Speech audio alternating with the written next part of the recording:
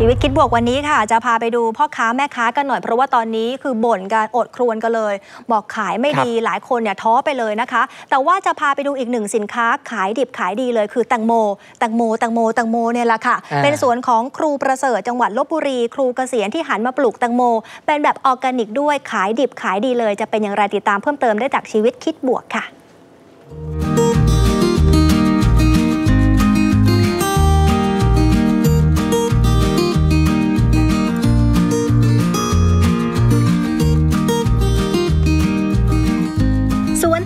ขนาด 1 ไร่ในพื้นที่หมู่ที่ 8 ตำบลคลองเกต อำเภอโคกสำโรง จังหวัดลบบุรี ที่ครูประเสริฐเชื้อสวยอายุ 67 ปี ครูเกษียณและภรรยากำลังช่วยการเก็บผลผลิตอยู่นี้ เพิ่งปลูกมาได้ 2 เดือนเศษเท่านั้นล่ะค่ะ แต่ว่าสร้างรายได้ให้กับครอบครัวกว่า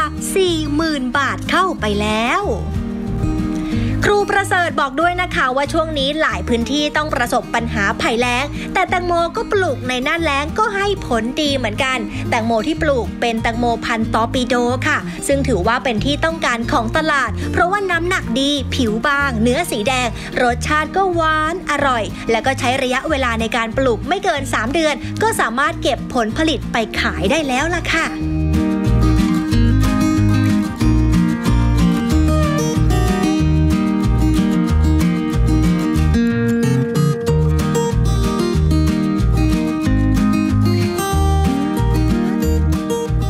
ว่าสวนแตงโมของครูประเสริฐไม่ธรรมดานะคะ เพราะว่าที่นี่เขาใช้ปุ๋ยอินทรีย์ ให้แตงโมผ่านระบบน้ำหยดด้วย ซึ่งก็ใช้ระบบพลังงานแสงอาทิตย์ ที่ติดตั้งไว้อย่างเป็นระบบทำให้ลดต้นทุนในการปลูกระยะยาวด้วยค่ะ